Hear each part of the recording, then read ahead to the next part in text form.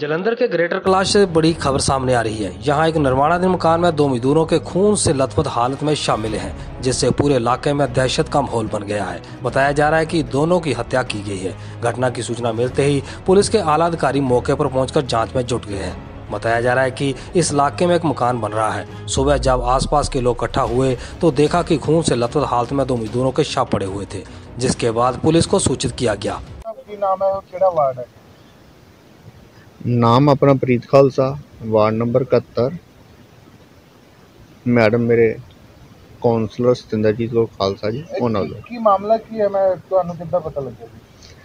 ਪਤਾ ਇਸ ਤਰ੍ਹਾਂ ਲੱਗਾ ਜੀ ਆਪਣਾ ਰੂਟੀਨ ਦਾ ਹੀ ਸੈਰ ਸ਼ਾਮ ਸਵੇਰ ਕਰੀਦੀ ਹੈ ਜੀ। ਤੇ ਐਵੇਂ ਕਹੀਏ ਵੀ ਮੈਂ ਲਗਭਗ ਅੱਜ ਥੋੜੀ ਜੀ ਸੈਰ ਵੀ ਥੋੜੀ ਲੇਟ ਹੀ। ਕੀਤੀ ਹੈ 8:30 ਵਜੇ ਕੀਤੀ ਉਦੋਂ ਤੱਕ ਤਾਂ ਮੈਨੂੰ ਨਹੀਂ ਪਤਾ ਲੱਗਾ ਟੂ ਬੀ ਫਰੈਂਕਲੀ ਐਵੇਂ ਲਕੋਲਾ ਕਾਹਦਾ ਕੰਮ ਲੇਕਿਨ ਘਰ ਜਿੱਦਾਂ ਹੀ ਪਹੁੰਚਿਆ ਤੇ ਮਗਰ ਇੱਕ ਦੋ ਲੇਬਰ ਵਾਲੇ ਆ ਗਏ ਆ, ਕਹਿੰਦੇ ਵੀ ਅੰਦਰ ਕਤਲ ਵਗੈਰਾ ਹੋਇਆ ਹੋਇਆ।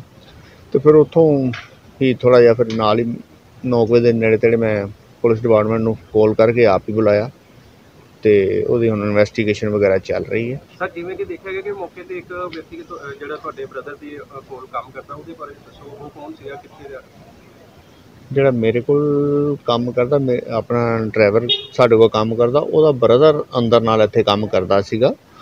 ਉਹ ਤੇ ਉਹਦਾ ਹੀ ਵਿੱਚ ਨਾਲ ਕਤਲ ਹੋਇਆ ਹੋਇਆ। ਆਪਣੇ ਡਰਾਈਵਰ ਦੇ ਬ੍ਰਦਰ ਦਾ ਕਤਲ ਹੋਇਆ। ਕੋਈ ਇਸ ਆਸੇ-ਪਾਸੇ ਕੋਈ ਕੈਮਰੇ ਲੱਗੇ ਨੇ ਸੀਸੀਟੀਵੀ? ਕੈਮਰੇ ਇਸ ਬਿਲਡਿੰਗ ਦੇ ਓਨਰ ਦੇ ਜ਼ਰੂਰ ਲੱਗੇ ਹੋਏ ਆ। ਉਹ ਇਨਵੈਸਟੀਗੇਸ਼ਨ ਕਰ ਪੁਲਿਸ ਡਿਪਾਰਟਮੈਂਟ ਕਰ ਰਿਹਾ ਔਰ ਸਿਟੀ ਸਕੂਲ ਦੇ ਨਾਲ ਕੈਮਰੇ ਲੱਗੇ ਹੋਏ ਆ। ਮੇਰੇ ਕੈਮਰੇ ਜ਼ਰੂਰ ਹੈਗੇ ਪਰ ਮੇਰੇ ਵਾਲੇ ਦੂਰ ਹੈਗੇ ਇਧਰੋਂ ਕਵਰਿੰਗ ਵਗੈਰਾ ਨਹੀਂ ਹੋਣੀ। ਸਰ ਜਿਵੇਂ ਕਿ ਦੇਖਿਆ ਗਿਆ ਤੁਹਾਨੂੰ ਦੇਖਣ ਨੂੰ ਕੁਝ ਲੱਗਦਾ ਕਿ ਵੀ ਇਹ ਕੀ ਗੱਲ ਕੀ ਹੋਈ ਹੋਏਗੀ ਹੈ ਤਾਂ ਲੇਬਰ ਦਾ ਹੀ ਹੈ ਜੀ ਕੋਈ ਲੇਬਰ ਦੀ ਕੋਈ ਆਪਣੀ ਆਪਸੀ ਰੰਜਿਸ਼ ਹੀ ਹੋਏਗੀ ਕੋਈ ਬਾਹਰ ਦਾ ਕੋਈ ਉਹੋ ਜਿਹਾ ਤਾਂ ਹੱਥ ਕੋਈ ਨਹੀਂ ਹੈਗਾ। ਹੁਣ ਭਾਵੇਂ ਕਿਸੇ ਸਟੇਜ ਤੇ ਵੀ ਲੇਬਰ ਦੀ ਆਪਾਂ ਕਹਿ ਸਕਦੇ ਹਾਂ ਕਿਤੇ ਖਾਣ ਪੀਣ ਤੋਂ ਹੋਈ ਹੋਏਗੀ ਲੈਣ ਦੇਣ ਤੋਂ ਹੋਈ ਹੋਏਗੀ ਜਾਂ ਕਿਸੇ ਹੋਏ ਤੇ ਪਰ ਜੋ ਦੇਖਣੇ ਚ ਆਏਗਾ ਵੀ ਕਤਲ ਕਾਫੀ ਘਨੋਣਾ ਕੀਤਾ ਗਿਆ ਕਾਫੀ ਵਾਰ ਕੀਤੇ ਗਏ ਆ। ਇੱਕ ਇੱਕ ਦੀ ਤਾਂ ਪੇਠੀ ਬਿਲਕੁਲ ਜ਼ਿਆਦਾ ਛਿੱਲੀ ਹੋਈ ਕੀ ਨਾਮ ਹੈ आपका प्रदीप सिंह प्रदीप जी क्या हुआ था ये लेबर जब सवेरे आई थी काम करने नौ बजे के आसपास में तब इन्होंने फ़ोन किया ये अंदर ऐसे ऐसे बंदे मरे हैं जी दो अच्छा तो मैं क्या फिर बाहर ही रुक जाओ मैं आता हूँ दोबारा तो आते आते पहले सचो साहब को फ़ोन किया तो बोले मैं भी आता हूँ फिर आए जब ये अंदर आए तभी अंदर आए हम लोग साथ में क्या नाम था लेबर का लेबर में मिस्त्री है एक का केवल है एक का कोमल है कितने के रहने वाले हैं? ये छत्तीसगढ़ के हैं मेरे यहाँ पे कहाँ रह रहे थे? यहाँ पर यहीं पर रहते हैं इसी कोठी में। इसी कोठी में रह रहे थे? हाँ दोनों कितने जाने। रह रहे थे? दो जने हैं। पता लगा कि क्या हुआ? बताया किसी ने? नहीं अभी तो कुछ नहीं। आपको आपको कब पता लगा? नौ बजे के आसपास लगा जैसे नौ बजे लेबर आती है दो चार मिनट कोई आगे आ गया कोई पीछे आ गया। अच्छा। उसी के टाइम में फिर बताया फ़ोन करके ऐसे लेबर ने बताया होगा हाँ, लेबर। रात को लड़ाई लड़ाई हुई हो। नहीं रात को नहीं बोले जब सुबह जब अंदर हेला तो उसी टाइम फ़ोन किया जैसे ऐसे बंदे मरे पड़े हैं। अच्छा। तो मैं कहा रुको मैं आता हूँ। तो फिर मैं ये सोचे साहब को फ़ोन किया। आप आपको कितनी देर होगी इन लोगों के साथ आप काम कर रहे हो? हाँ, पाँच छः महीने से लगे हैं अभी। अच्छा। जिस टाइम बिल्डिंग बन रही है उस टाइम से। ये दोनों पाँच छह महीने से काम कर रहे हाँ? जी रात के समय ये दोनों अकेले यहाँ पे रह रहे थे? अकेले रह रहा मिस्त्री हाँ जी। जो और भी साथ में नहीं वो एक ही मिस्त्री मेरे में काम करता है जो केवल है कमल है जो। तो दूसरा बंदा कौन है? दूसरा दूसरे जगह रहता है जो ड्राइवर काउंसलर साहब हैं उनका भाई साहब है जो है ड्राइवर उधर पता नहीं कहाँ काम करता है। ये क्या बन रहा है क्या? कोठी है। क्या नाम? मामला ਇੱਥੇ ਗ੍ਰੇਟਰ ਕਲਾਸ 'ਚ ਇੱਥੇ ਕੋਈ ਗੁਪਤਾ ਜੀ ਦੀ ਕੋਠੀ ਬਣ ਰਹੀ ਸੀ। ਇਹਦੇ ਵਿੱਚ ਦੋ ਪ੍ਰਵਾਸੀ ਮਜ਼ਦੂਰ ਸੀਗੇ ਇੱਕ 2.5 ਮਹੀਨੇ ਤੋਂ ਰਹਿ ਰਿਹਾ ਤੇ ਇੱਕ ਰਹਿ ਰਿਹਾ ਕਰੀਬ 5 ਮਹੀਨੇ ਤੋਂ। ਉਹਦਾ ਪੰਜਾਬ ਦੇ ਵਿੱਚ ਕੋਈ 20-25 ਸਾਲ ਤੋਂ ਕੰਮ ਕਰ ਰਿਹਾ ਇਹਨਾਂ ਦਾ ਰਾਤੀ ਮਰਡਰ ਹੋ ਗਿਆ ਆ ਤੇ ਅਸੀਂ ਕ੍ਰਾਈਮ ਸੀਨ ਤੇ ਆਏ ਸੀਗੇ। ਇਨਵੈਸਟੀਗੇਸ਼ਨ ਚੱਲ ਰਹੀ ਆ। ਤਾਂ ਪਤਾ ਲੱਗਿਆ ਕੋਈ? ਥੋੜੀ ਸ਼ੱਕ ਹੈਗੀ ਆ। ਕੋਈ ਨਾਲ ਬੰਦੇ ਸੀਗੇ ਇਹਨਾਂ ਦੇ ਜਿਨ੍ਹਾਂ ਨੇ ਰਾਤੀ ਇਹਨਾਂ ਨੂੰ ਇਹਨਾਂ ਦੀ ਪਾਰਟੀ ਜੁਆਇਨ ਕੀਤੀ ਸੀ। ਤਾਂ ਉਹਨਾਂ ਨੂੰ ਫੜ ਕੇ ਇੰਟਰੋਗੇਟ ਕਰਾਂਗੇ ਫਿਰ ਪਤਾ ਲੱਗੇਗਾ ਕੋਈ ਸੀਸੀਟੀਵੀ ਕੈਮਰਿਆਂ ਦੇ ਵਿੱਚ ਕੁਝ ਕੈਦ ਹਾਂ ਉਹ ਕਰ ਰਹੇ ਆ। ਇਨਵੈਸਟੀਗੇਸ਼ਨ ਚੱਲ ਰਹੀ ਆ। ਸਰ ਕੀ ਨਾਮ ਹੈ ਜਿਹੜਾ ਡੈਥ ਹੋਈ ਜਿਨ੍ਹਾਂ ਦੀ?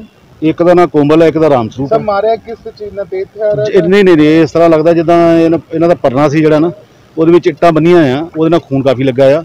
ਇਹ ਪਤਾ ਲੱਗਦਾ ਵੀ ਜਿੱਦਾਂ ਉਹਨੂੰ ਇਦਾਂ ਮਾਰਿਆ ਹੁੰਦਾ ਆਪਣੇ ਹੱਥ ਦੇ ਨਾਲ ਬੰਨ ਕੇ ਉਹਨੂੰ। ਕੋਈ ਪਲਾਨ ਸੀ? ਪਹਿਲਾਂ ਹੀ ਪਲਾਨ ਸੀ ਇਹਨਾਂ ਦਾ?